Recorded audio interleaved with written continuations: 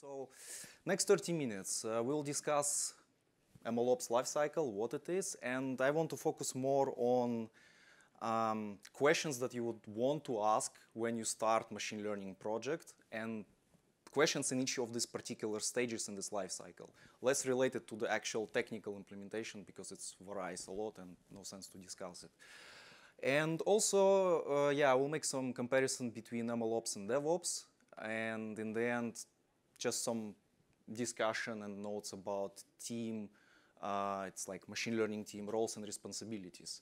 I found it quite fascinating uh, to discuss this topic these days. And tooling, yeah, but it will be super brief. So, what is MLOps? Uh, okay. Oh, it works. Cool. So, yes, technical issues, yeah. So MLOps is a set of the processes that you would like to have in place in order to move your um, models that you design in Jupyter Notebook to something that can be actually yeah, used by your customers and bring the value to your organization. There's more complex uh, definition here, but yeah, in a nutshell, a set of processes and yeah, also technologies and capabilities, and there's a bunch of people involved. And two key things is that you want to do it rapidly, which means you don't want to start project and then after eight months to have something in production. You maybe want to have something in production within first month. And reliably, which means, yeah, as soon as you put your uh, XGBoost model and then the actual data hits it and everything fails and nothing is working, you don't want that. You want to have it reliable. And one more important part to say is that I'm not going to discuss data ops. Yeah, for those who, okay. It's a bit, yeah. Data ops is about the data. So it's completely different topic. It's more on, um, yeah, if you're in a big organization, there's a separate team preparing your data, do all the quality checks, putting it to the data warehouse or data lake. And MLOps team is not bothered with that at all. They're just customers, they just consuming that, and best case scenario. Uh, without data ops, yeah, if you don't have it or you never thought about it, yeah, you can just keep this talk and first focus on the data ops. All other thing doesn't make any sense without it in place. But yeah, data ops is about, uh, yeah, data, prepare data. So, so uh, back to MLOps. So this uh, wheel of fortune or I don't know, cycle of existence, call it whatever. So you have several processes around MLOps that needs to be in place. And the top one, well, the top one, it's machine learning development. We all know what it is. So it's you, you sit, you create your training pipeline, um, maybe do some tests if you're really into that. But usually it's just a bunch of steps in a Jupyter notebook, and then it's uh, called a pipeline. And we're all doing that for already a lot of years. Then another thing, oh, it's like strange clicker training operationalization. So this, this thing is that when you have your pipeline, but then you can take it and put it in some system that can run it automatically. So for example, to system that supports continuous integration and continuous deployment, something that you can later on run on some trigger or something. This is more like kind of a next step. So you take your pipeline, which could be whatever, um, I don't know, Airflow pipeline or whatever, and you put it like in a system that can deploy it on demand or on the trigger on the schedule. So that's all about that. Um, continuous training. That's a bit of a glitch here. Okay. So this one, it's the set of processes, how you would like to run this continuous uh, training, how you want to run this pipeline that's operationalized already. So um, here you would like to think about, okay, uh, should I check my data? If something wrong with the data that's coming to the production part, like, okay, should I retrain it? Where should I retrain it? What kind of triggers I would like to put? So that's part is all about that. And um, yeah, the simple thing is the code changes. So if your data scientist change the pipeline or hyperparameters or something, you would like to run it all and to have updated version mm, of the model registered in some model registry. Deployment, again, boring stuff, packaging, testing, and deploying it to some serving environment. You, mm, yeah, we have several, like development environment. It's always nice to have development environment, like a full cycle where your data scientist can also deploy it somewhere and check that it works. Prediction serving, so it's more related already to actual production environment. It's also a separate process that you would like to follow. And then here also stakeholders involved. They would like to see what's going on. It's not only for your internal team, but also for someone else outside. Yeah, and the last thing is monitoring. So mm, here a bunch of things that you would like to monitor, business metrics, software metrics, uh, machine learning metrics, whatever.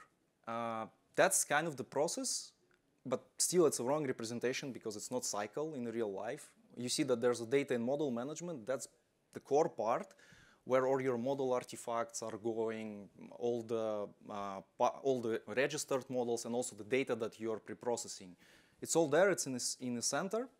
Uh, there's another view for the same thing, and this, I think, a bit better, because here you can see the outputs of the each step more in detail, and it's also super clear that it's not a waterfall process, it's not even like highly iterative process. It's super iterative process. So you can basically go at any moment in time, you can return back to the machine learning development. You can, which means you need to change something in your uh, experimentation. At any time, you can retrain your model. At any time, you would like to redeploy it. A lot of moving pieces. So, and yeah, the outputs I already mentioned, but essentially, yeah, code configuration after you did your experimentation, then pipeline. Uh, from continuous training, you just register your model. Um, and serving, yeah, that's all fascinating, but the steps should be there. Someone from the ops side in your team should do that. That's the workflow. Then, yeah, so what I wanted to emphasize before we go into the really details of uh, MLOps as a process is that the first stage when you start doing anything in machine learning is a scoping. So there's a room like this, you have your solution architect, you have business stakeholder, you have maybe some development team discussing things, right? So, and at this point in time, you can kill already 80% of the machine learning projects and just do something else, you know, just don't waste time on it. So that's really important. And here, what kind of questions you need to ask, it's also important. So I'm not going to read it, but essentially, you may have in your organization several projects that you would like to work on, right? Starting from, um, I don't know, improving the customer experience, maybe working on the databases, maybe doing some internal uh, improvements, and you're all thinking about AI, right? Okay, can I apply AI there, there, there? So there should be some thinking how to prioritize that. I will link in the references some material that you can read about that, but it's a separate thing that you really need to put effort. Which project to pick that will improve your um, company essentially. Another thing is what kind of metrics for success uh, you define. So I don't know, mm, different people interested in different things, right? DevOps people, they may be interested, like in general, ops people, they're interested in latency, in throughput, whatever, how to deploy Kubernetes cluster, YAML files, all the stuff. And um, business people, they don't speak language of technical people, right? Like machine learning engineers saying like, hmm, my RMSE is good. And then uh, business person is like, so what? Okay, fine. So you need to ask those questions and also in terms of planning, like what kind of people you have. I saw projects starting that where you need to spin up, I don't know, Kubernetes cluster, build all, all that thing from scratch, and then there's only one data scientist that barely knows uh, anything else except Jupyter Notebook. So yeah, put some proper people on the project. Timeline as well is important. So um, yeah, what's important more than that is that to separate problem identification from solution. You know that every month we have a new transformer architecture coming, right? And then like, ah, we can apply it to everything, right, these days. Uh, computer vision, uh, natural language processing, everything. So, and people like, okay, AI, AI, AI, yeah. Just discuss what you're actually trying to solve. If you can avoid machine learning, do it. You will save money, time for everyone. Um, yeah, probably I'm not supposed to talk like that, right? Uh, and then another thing is that, that everyone is happy about the success metrics. So you build that bridge between your machine learning engineers and the business stakeholders. Next one. Yeah, that's like in the end, when you're done, you ask again that question. Like, um, let's see. Data, that's fascinating part. So, um, that's the questions that you need to ask. So you need to understand, I will say obvious things now. You need to understand what's your input data and what actually you're predicting. That's like the, the best of it. And then more tricky is that in which situation you are, whether you have small data set or big data set. Why it's important? It affects other thing, right? Like it affects your labeling strategy. If you have small data set and it's difficult to obtain, maybe you need to involve a lot of subject matter experts or it's just pricey, you cannot outsource it or whatever. You need to make sure that the quality of your labels is great. So it's like completely different when you have huge data, like labeled yeah, reliably, but you can work with that, right? You can mangle it, you can apply data augmentation techniques to that. So you need to identify that from the beginning. Then structured, unstructured data, also important, also in terms of labeling. It's way easier to label unstructured data. Images, yeah, even machine learning engineer can label that, right, with some small instructions. If you have uh, structured data, which is like, yeah, CSV table with 1,000 features, and some like zero one in the end. Like, yeah, good luck with that. It's uh, almost impossible. Um, what else? Yeah, you need to be aware of the data lineage. So the, the, steps. Usually, machine learning is not the first thing that company is implementing. You may have already a lot of things in your pipeline, and you need to plug it in. So you need to know where exactly you're plugging it in, because when it breaks, you you will know like, okay, that's maybe it's not your fault. It's fault of downstream or upstream systems. So that's uh, also important question. Um, yeah, whether your data set, the data set is balanced or not, I found it is also really important because these imbalanced data sets, they affect performance a lot and you need to know if it's balanced, how to tackle it. There are multiple methods for that, but yeah, just be aware. How to handle data errors.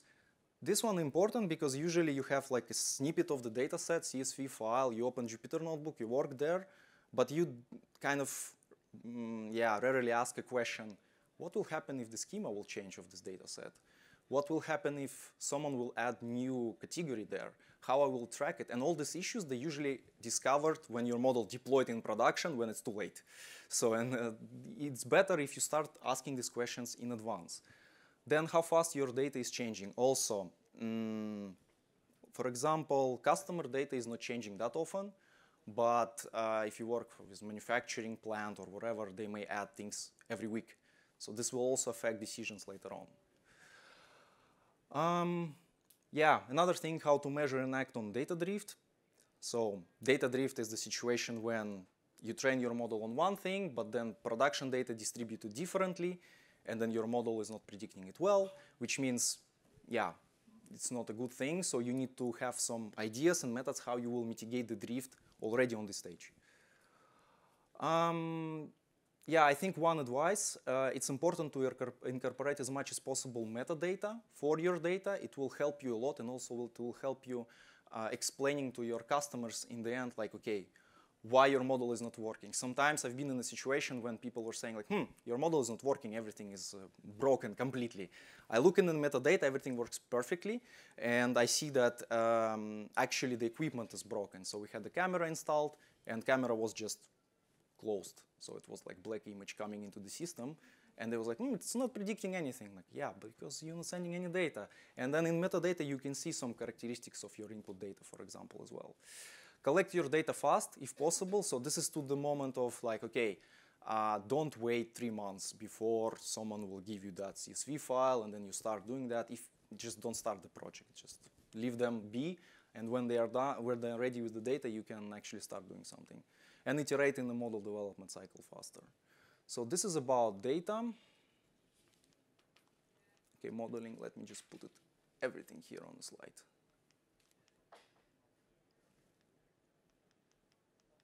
Keep clicking. Okay. So modeling, um, obvious things for some people, I guess. But um, yeah, in the first week, when you already know that the project will fly, you have some ideas that, yeah, just start with literature search, check blogs, etc. I always suggest look at open source because it's already done. You just take it, you run it, you see first results. Uh, overfit a small training data set first. I think that's a common recommendation when you train uh, neural networks. So overfit the one batch to see that your uh, neural network can actually learn small sample, overfit on that, because if it can't, there's some problems in algorithm, technical problems that you need to solve.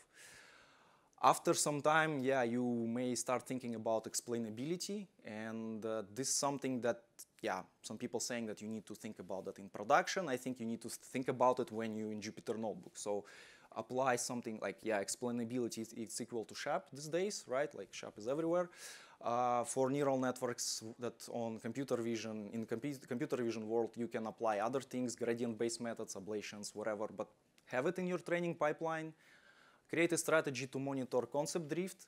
So concept drift, it's another beast. It's basically when your um, mapping is changing over time. So I think, yeah, you have same house uh, size and its price changing due to inflation. So you need to, this is to the, to the point when you have to retrain your model. So there should be a trigger as soon as you detect concept drift, the model is retrained on the new data and model is updated. So, but also take that into account. What else? Uh, challenges, do well on the training data set. Easy, we can all overfit on the training data set. Then uh, do well on the validation and test set is also uh, yeah, well, a bit more tricky, but we also can do that. We also can do something with that, and it will work well. Do well on the business metrics, that's hard. So good luck. Um, another thing is, um, yeah, so don't be obsessed without the algorithms these days. So uh, the, the, typical like trap that, okay, I tried random forest, I tried uh, gradient boosted trees, neural network, transformer, hmm, transformer is not really working, let's try another transformer. Better invest in the, in the data. There's a lot of discussions, especially this year, about data-centric uh, AI, that you focus on your data first, and then you focus on your model later on, especially if you're not doing a research. Because, yeah, if you're doing a research, maybe you're interested in, in the models and developing the models, but in, in industry, it's barely the case. Uh, take deployment constraints into account after you establish a baseline. This is about the freedom for your data scientists. So instead of saying like, hmm, your algorithm should run on this Lambda function within 20 milliseconds, just give them to do whatever they want and optimization comes afterwards. So it's always possible to tweak these uh, deployment uh, requirements later on. Um, what else? Yeah, and machine learning is an iterative process, so it's mostly for, I guess, uh, managers, if there's any managers, because uh, still a lot of people believe that you do it once and then you take the pickle file, you deploy it on the server and it works forever. That's not the case. Okay, deployment. Let's put a lot of boring words here. Yeah, so on deployment, uh, you need to think about whether it's real-time or batch. Completely different stories require completely, well, different level of skills in your team. Batch workloads, way easier than real-time. Uh, you need to decide whether you deploy uh, in the cloud or on the earth or on the edge or in your on-prem. Um, that could be, yeah, also something that you need to realize before you start. Compute resources, whether you need GPU, CPU, TPU, memory, whatever, latency, throughput, some logging, some security and privacy part. Um, deployment patterns. So for about deployment patterns, I think for AI, this kind of diagram is uh, relevant. So you first start when someone is doing the process manually. So it's like person looking in the Excel spreadsheet, let's assume. And then you want to automate something. So you run some chatbot or some kind of process in a shadow mode that's not really affecting a user anyhow. It's just running, and then you check how it's performing. And then as soon as it's performing well, you're moving it from shadow mode to AI assistant. So for the person that in Excel, like your chatbot is saying like, hmm, hey, maybe you want to ask me and delete Excel from your laptop.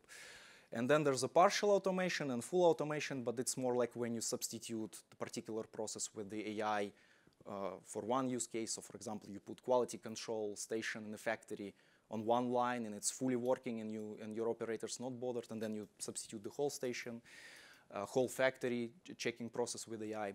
So I think most common ways where to stop it's assistance and uh, partial automation. Full automation is still yeah tricky. And deployment is also an iterative process because modeling is an iterative process. So let's see. Monitoring and observability. Hmm. Okay, so this one, uh, if you took into account everything that I said before, concept drift, data drift, software metrics, business metrics beforehand, this step is super easy because essentially monitoring is just, yeah, it's just dashboard, right? Like if you're in open source, you use Grafana. If you're in Azure, you use Log Analytics. If you're in AWS, you use, I don't know, what's that, QuickSight. So it doesn't matter, literally. If you know what to put in the dashboard and to whom to show it, that's most important part. So you want to show it to your data scientists, you want to show it to your business stakeholders, and to your uh, infrastructure DevOps engineers, I guess. So, and the things that should be there, yeah, they're on the slide, software metrics, uh, drift, data quality data, or some performance analysis for machine learning models, some machine learning metrics, and um, uh, in case like, yeah, explainability is also there, so that, for example, when something is happening in production, like one feature start deviating in terms uh, of in distribution from the one that you have in the test, you can see it in that dashboard. Plus, you can see, for example, from the SHAP, you can see how much that change in the data drift influencing the prediction of that model. So the, you need to put some thinking in how to build that dashboard. But yeah, the all things are there. Yeah, you can brainstorm, brainstorm with your team to think like, okay, maybe there's some special metrics that I want to put there or yeah, some particular requirements, whatever.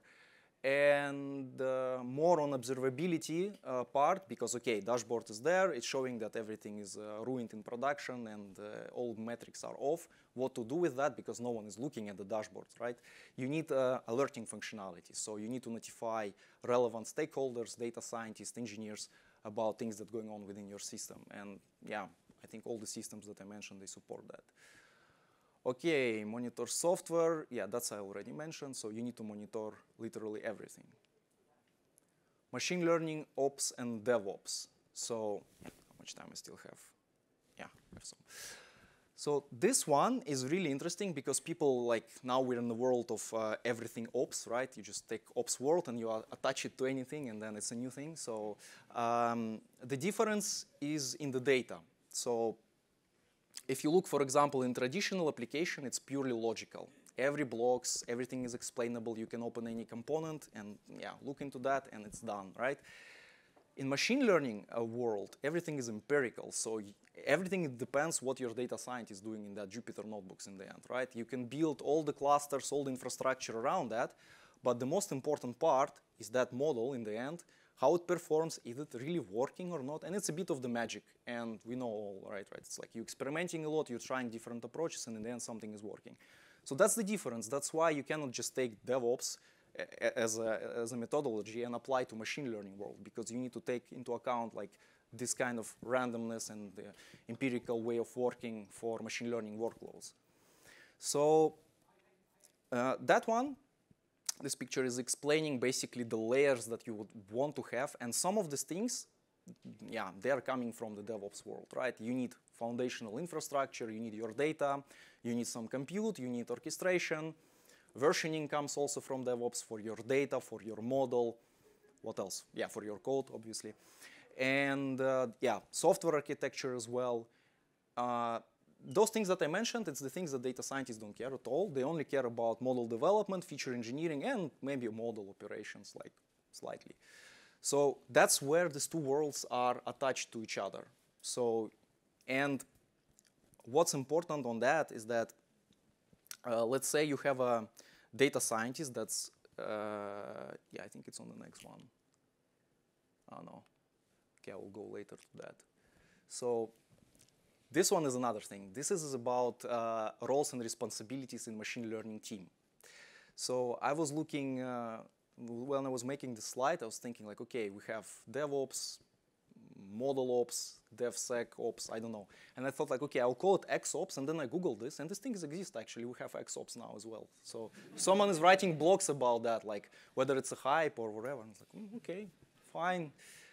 So what about this unicorn? Yeah, pe some people trying to hire those guys, in, those guys in the team, right? They want a person to understand YAML, to write uh, manifest files for Kubernetes, then uh, open Jupyter Notebook, take latest transformer model, train it on the data set, then also deploy it, then also attend the stand-up, because of course you need to manage your team, right? But actually it's a small team, so it's like one person, so you probably can skip stand-ups, but you still need agile.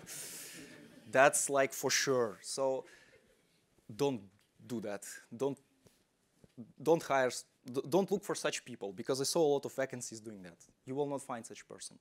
It's a mythology. So in reality, um, we have a gradient. So a lot of people, they're all different. So you have, and, and there's a two access to that, right? Like you have machine learning knowledge and you have software engineering knowledge. And depends in which organization you are, you can cherry pick who you want. Well, actually not, you cannot cherry pick because machine learning engineers is super difficult to hire because they are kind of, they're on the both, both worlds. Uh, but I just pick one example, so mm, yeah. So this example is that when we have some product and we would like to embed machine learning functionality into that product. So I think it's quite obvious that software skills in this case are prioritized over the research skills. And then, yeah, as I mentioned, machine learning team is not managing the data, so you have a separate team doing all the data ops and everything. And then machine learning engineers own the models that they deploy. So in this situation, it's quite clear that you probably need people like machine learning engineers, right? You need a DevOps to kind of operate around the model. Um, I would say that the best recommendation always is that if you don't have anyone in the team, start with data engineer because someone have to move the data around. Even though if you have a separate data ops team, someone have to communicate with them, bring it in your system, do something with that. So having a data engineer in the team, it's really, really important. Um, but yeah, others like data scientist, it's umbrella term. Always clarify what people mean about data scientist. As I said, it, it varies from like writing macros uh, expressions in Excel to Kubernetes clusters. So don't like this term. So that's, uh, be careful with that. And um, yeah, let me see. And there's another story that I wanted to uh, to briefly throw on you is that some people saying that data scientists should be end to end.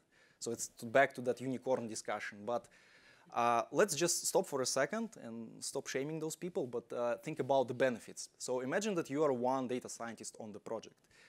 The advantage is that you have ownership of everything, right? You know where the data coming from, what's going on with the data, how is it deployed, you know all the metrics, you own the process, which means you also iterate fast and you learn fast in such environment. And also it's reduced communication and collaboration overhead because when uh, you have data, data engineer that builds some table in SQL and then throw it to data scientist, data scientist looks in that and then, okay, I will do it in R and it's doing something in R and then move it to machine learning engineer and machine learning engineer like, okay, R, no way. So they write everything in Go, for example. And then you like, uh, okay, that's, that's a lot of traction in the process. But as I mentioned, the problem is these guys, right? Like you're thinking, okay, I'm data scientist. Now I need to know low-level infrastructure, pipelines, all these things. And you're like, no, right? What to do? So I found a really good opportunity in that discussion, and it's on the tooling side. And if it appears, yeah, this is good example. Who knows Metaflow? Okay, some people. I will just uh, follow up on that. So basically, the problem is tooling. So if data scientist has a tool that allow him to deploy things, not writing YAML files or not deploying Kubernetes clusters, but just to deploy, then in the language that data scientist knows, which is Python, well, sorry, R people. Uh, but this is basically an example how things can work in future. So Metaflow, for those who in an AWS, like if you are vendor locked on AWS, you can try that because th they support a lot of workloads in uh, AWS. But essentially, this is kind of a pipeline, right? So you have a class, uh, it's uh, inherited from some flow spec. But what I want to emphasize, there's a laser here, right? That is not visible. Okay, so there's the decorators there, right? You see uh, step decorator, you see batch decorator, you see conda decorator. So these things allows you to declare a particular step in a way that it will then later on be uh, executed in the cloud environment. From the data scientist point of view, you just need to configure one file. It also can be configured by your engineer for you. But you just need to specify, okay, I need four GPUs or 100 maybe. You're maybe in your language models, then you need a lot. And how much memory you need, and the libraries also. And in that sense, you have one file, and it will enable data scientists to work end to end essentially, right? So you do need to ask someone uh, to provide a particular uh, environment for you because we have the serverless compute, well, serverless, right? You ask, for example, this batch decorator will call AWS batch service. So what that service is doing is just taking your code, running it in a Docker container, and uh, put the results, for example, to S3. Perfect, right? Everything can be configured. Okay, highly recommend that, especially in AWS. They also support Kubernetes uh, integration, so for ops people there, it's like really cool thing to give to your data scientists and make them more autonomous. Ooh. Yeah, questions, if you have any, and uh, this is the references that I highly recommend to, uh, to take a look on. They will answer a lot of things that you are wondering about MLOps as a process.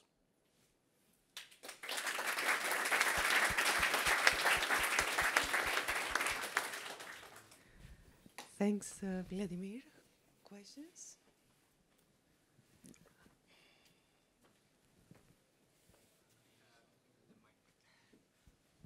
Uh, thanks for the amazing presentation. I do have a question because I missed a important part actually during the entire ML, ML ops cycle. I think A/B testing because uh, before you really actually push anything to production, you have to kind of like uh, doing uh, like a let's say the your hypothesis and test actually based on your let's say new features actually enabled compared Mhm. to that let's say non-hypothesis you have.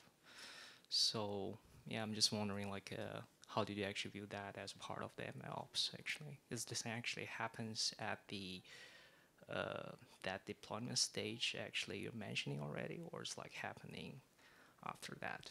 Yeah, that's a really good question. That's like one particular example how you can start with deployment, right? So A/B testing is definitely in the deployment stage. So I just I'm yeah I cannot uh, go in all possible ways how you want to deploy, but yeah, A/B testing is there indeed on the deployment stage. So because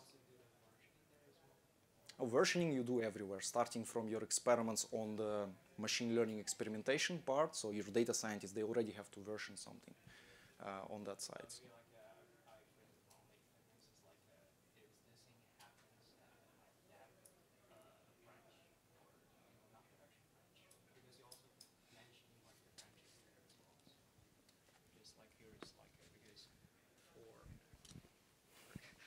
Sorry. So, uh, uh, because you are talking about ops, right? So, there's like a, there's like a flow Mhm. deliver. You're actually mentioning from the uh, data ops to ML ops to the DevOps, right? Um, if you do the A/B, A/B testing at end of the ML ops, how you actually just uh, seamlessly, continuously deliver to the people actually responsible for the let's say uh, downstream part. Well, at least what I'm trying to do also at, uh, at work is that data scientists should own the process, right? So you can deploy in your development environment, for example, for development endpoints, your model already, and you can already expose it to some customers, right? And see how it's working. And then at some point in time, when your model is showing good results, you can promote it to production. But there's no walls between. I mean, we used to work like that, right? You do Yeah. something and then you throw over the wall, like those guys in that department will do that. No, Y- they see everything. And the go- but it doesn't mean that you shouldn't have uh, um, infrastructure people on your project. You should. They will help data scientists to see this flow end to end. So it's a bit different approach instead of like separating walls and then waiting several months. One one team will fe- put it in the backlog, you know, like okay, we do that in three months. We will create a SQL table for you. You can wait. So yeah, but yeah, that's